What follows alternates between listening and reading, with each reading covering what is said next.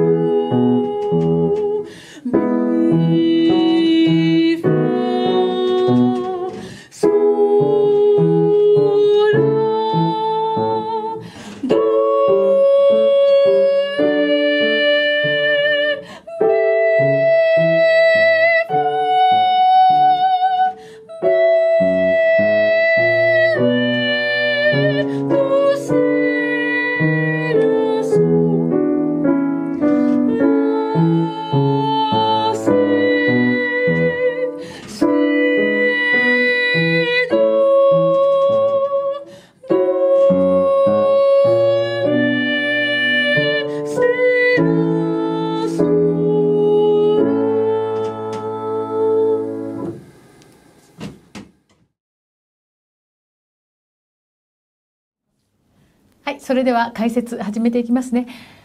この曲はですね、もう横隔膜。横隔膜を常に保っておくための曲だと私は思いました。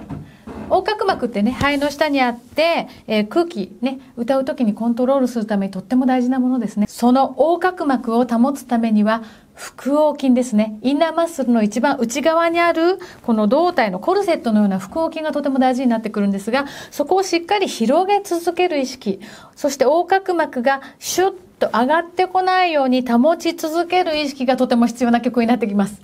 もうそれだけの曲という感じ。2小節目とか4小節目に給付がありますね。これね。ラシこういうとこです。せーこういうとこですね。こういうところで横隔膜の意識なく吸ってしまうと、って緩みますよね。お腹がヒュッて緩むんです。それをしないための曲だと思ってください。なので、ここのね、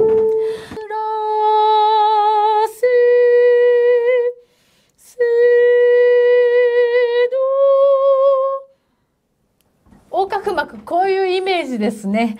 そのためにその肋骨の周り、まあ肋骨の下のこの腹横筋ですね。腹横筋がいつも張った状態。ね、歌手の方いろいろ見てみてください。皆さんパンとした状態で歌ってるんですよね。あれはここに使われるその感覚を皆さん持ってらっしゃるからなんですね。で、ここで一回一回緩めているとすごく大変になってきますから、必ず緩めない、張り続ける。そんな感じで息をね、横隔膜に流し続けてみてください。まあ、吸い込み続けるイメージっていうのかな横隔膜に。息をねただ吐く方を考えちゃうと横隔膜って自然にシューッとこう上がってきちゃうんですよ。それを、えー、自分の中に息を吸い込んで横隔膜を広げ続けようっていうイメージでしょうかね私の中では。でそのためにもう一つ大事なのがこのクレッシェンドとデクレッシェンドなんですね。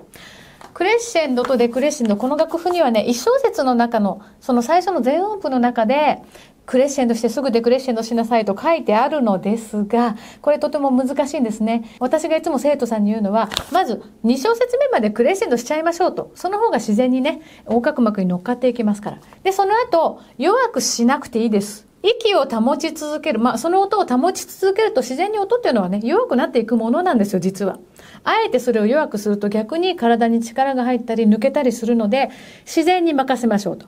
そして、えー、横隔膜保ったまま息を吸って、また次の全音符クレッシェンドして、えーにえー、次の、まあ、4小節目ですね。4小節目の音に入ったら、それを保って、というふうにやっていくと、最後まで横隔膜が保っていけると思います。横隔膜を保つ曲と思って歌ってみてくださいはい給付でね油断しない一箇所だけまあこの全音の楽譜でいくと4段目の4小節目になりますけれども他の楽譜の方探してみてくださいね。下がってくるところ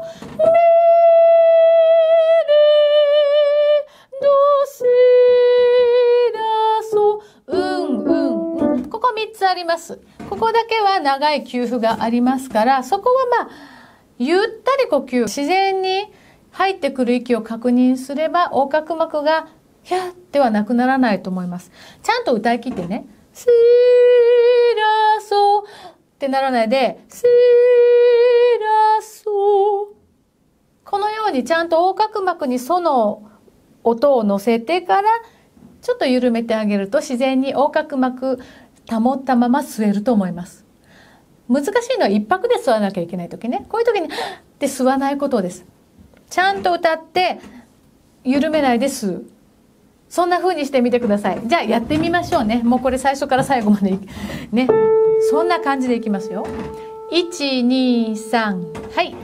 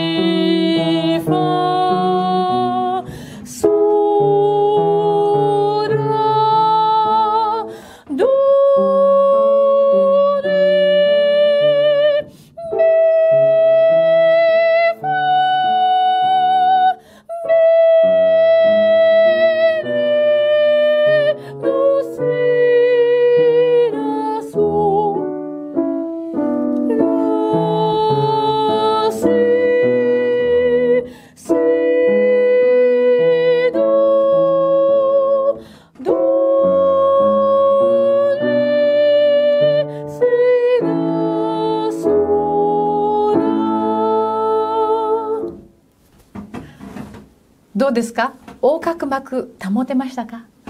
はいそんな感じでこれ練習してみてくださいね。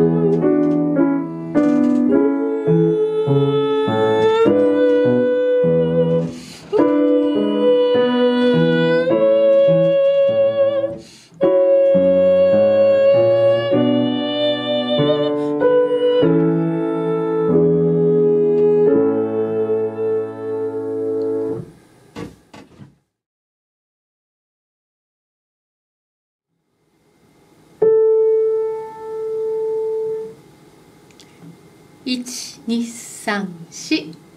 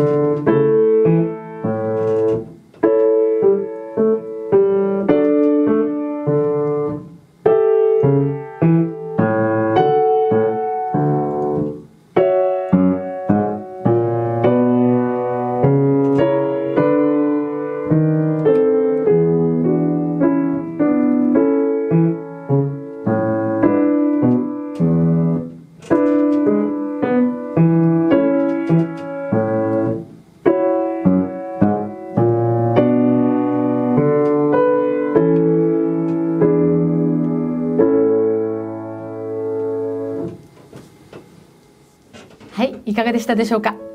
コンコーネこれからどんどんいい曲が出てきます。楽しんで歌っていきましょう。それではまたお会いしましょう。